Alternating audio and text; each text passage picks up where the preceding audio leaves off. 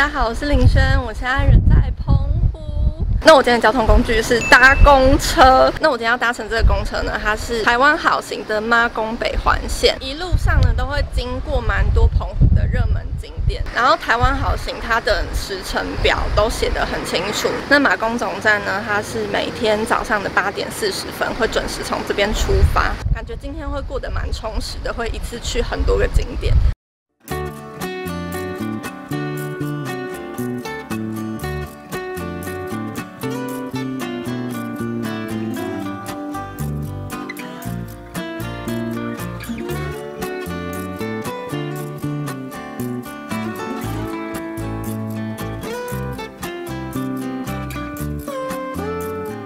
我现在到了我们的第一站，就是通梁古榕，然后这边超多阿伯阿妈在这里，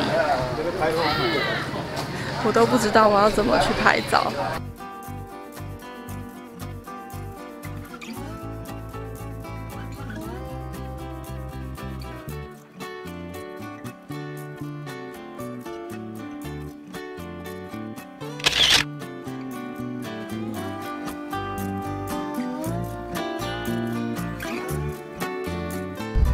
随车导游说，澎湖这里中秋节过后，东北季风就会开始逐渐增强。每到十二月的时候，这边的人呢就开始每一天都在过台风天，就跟我去年一样。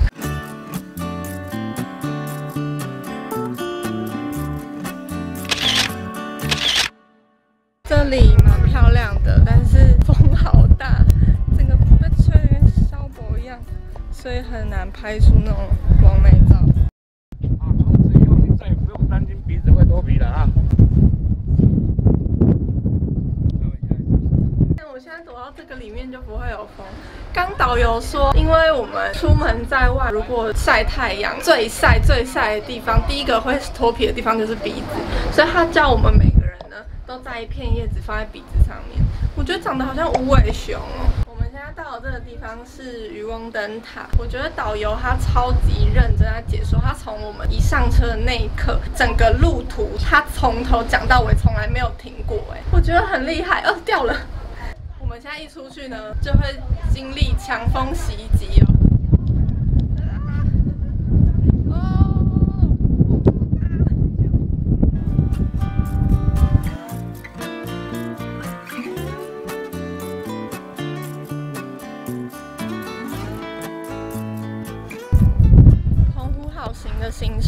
就是会从马公市区出发，一直到白沙，然后再到西屿乡，中间会有几个著名景点会停留二十分钟。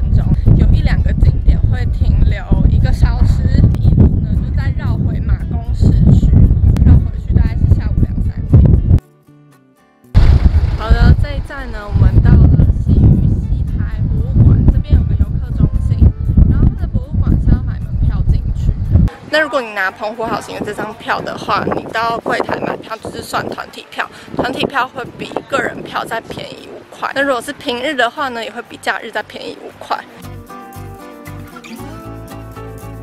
哎，这边有回音哎，嗨呀呀呀呀呀！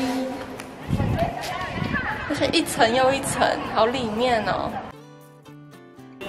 这边啊，它以前是一级古籍，但是因为后来文化资产保护法修订的关系，所以所有的一级古籍都变成国定古籍。我刚刚偷查的，背很久。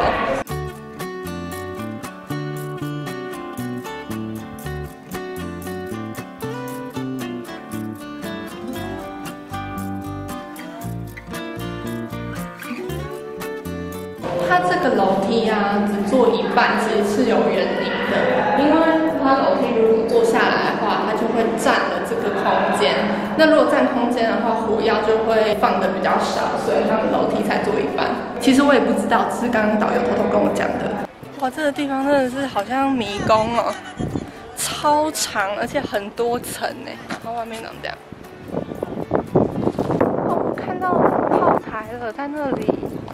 这次是我第三次来澎湖了，然后第一次我是去当保姆，然后第二次是去工作，然后还被困在七美岛三天，所以其实澎湖本岛超多地方我都没有去过。然后我这一次，我就觉得我一一天来了好多地方哦。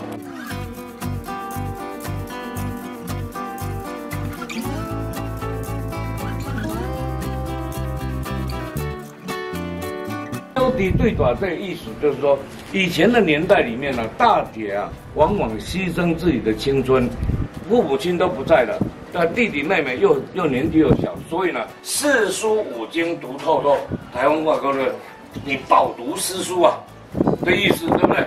四书五经读到头，他这边还有很多可以借的衣服，还有个全身镜。哎，别人的比较大，我们家的比较小，安听不？哈，好，第三组阿长。我们台湾好行的导游实在是太早了，刚他在那个学堂里面一讲，别团的人都跟着一起聚过来听得津津有味。这个垃圾桶好可爱哦，它还有设一个就是放烟蒂的耶，油桶也很可爱。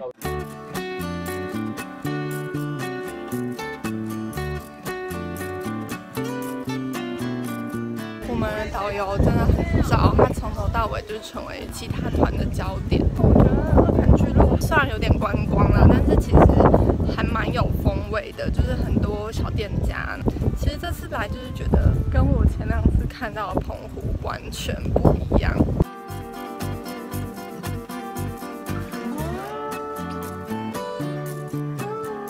我们现在来吃西屿最有名的小馆面线。谢谢。谢谢。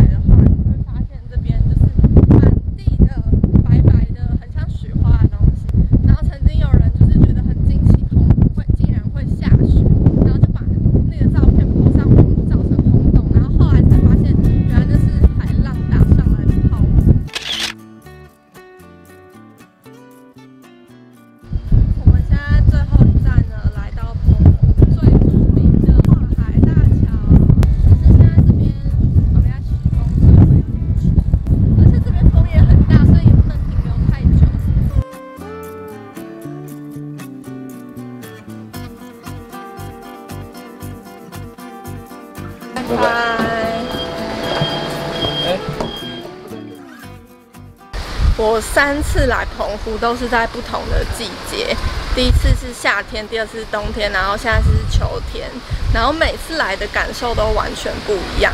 然后我觉得台湾好行呢，它超级适合长辈的，就你就直接把长辈带着，就丢上车，反正导游从头到尾都会讲解。我觉得导游是整趟旅程的精华，因为他从一上在讲，然后讲到下车，我觉得他很厉害，然后他都会把大家照顾得很好。那澎湖好行呢，它其实还有不同的路线。我今天参加这个是旺季的路线，它之后呢也会出淡季路线。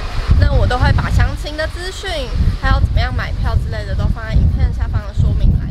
现在风还是蛮大的，虽然回到市区了，但是风还是蛮大的。